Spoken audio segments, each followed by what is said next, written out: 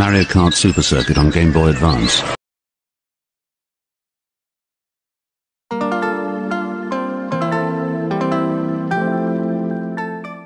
Nintendo es una de las empresas más grandes en el mundo de los videojuegos y una favorita de muchas.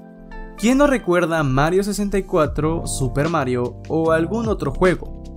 Nintendo es una empresa muy presente actualmente, pero como toda empresa tiene sus cosas malas, Nintendo está lleno de polémicas, así que repasemos los peores problemas de Nintendo.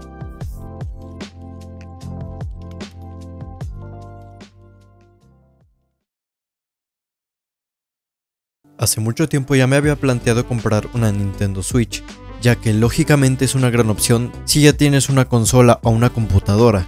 Dicen que es un gran complemento para jugar. Una de las razones principales por las cuales no decidí comprar una Nintendo Switch es por los precios de los juegos y el servicio online, que de esto hablaremos más adelante. Los juegos de Nintendo aparte de ser caros, no bajan de precio. Nintendo aprovecha su situación. Nintendo tiene una base muy fiel de compradores, así sea el juego, la consola o lo que sea más caro, lo van a comprar.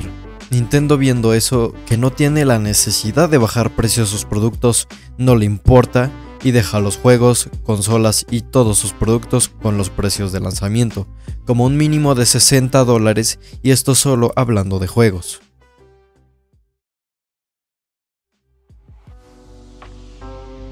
PlayStation y Xbox tienen online muy sólidos con comunidades inmensas en todo tipo de videojuegos, pero Nintendo en pleno 2023, con la cantidad de dinero que tienen, ¿cómo es que tienen un online tan malo? Es que no puedo creer que siga estando así en 2023. Con Nintendo son pocos juegos que tienen el modo online, por el que por cierto tienes que pagar anualmente. La cosa es que es más barato que el servicio que te ofrece PlayStation y Xbox, porque saben que es súper descarado pedir 60 dólares o más por únicamente poder jugar online Mario Kart 8 Deluxe, Super Smash Bros. Ultimate, Super Mario Maker 2, de 399 y Splatoon.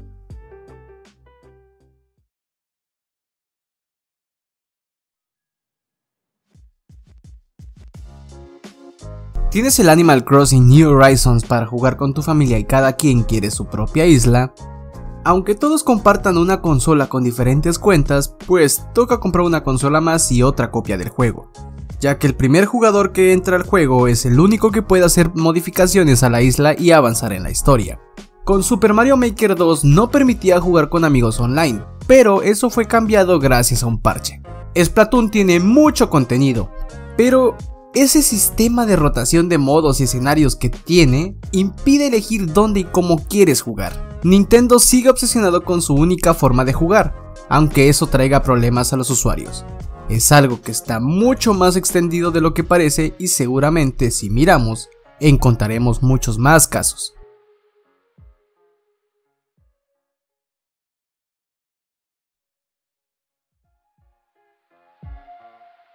Las tiendas online, en teoría, serían una gran ayuda para los juegos independientes al poder ponerse a la venta sin necesidad de un distribuidor ni gastos de fabricación de cartuchos. Con el tiempo ha pasado que se ha abusado mucho de ellas, pero con Nintendo se ha condensado los problemas que tenía Steam y la Play Store.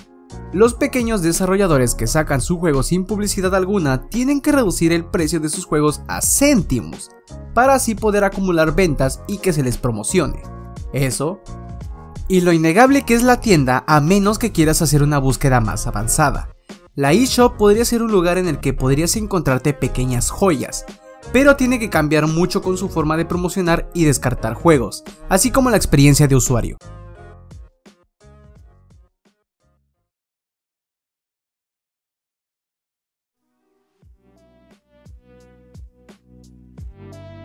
Nintendo es una empresa muy grande y poderosa en el mundo de los videojuegos. No hicimos este video para tirar hate, solo para visualizar los problemas que hacen que los usuarios de esta plataforma no disfruten de esta consola y de los juegos que ofrecen. Esperemos en el futuro cercano Nintendo arregle poco a poco varios de estos problemas.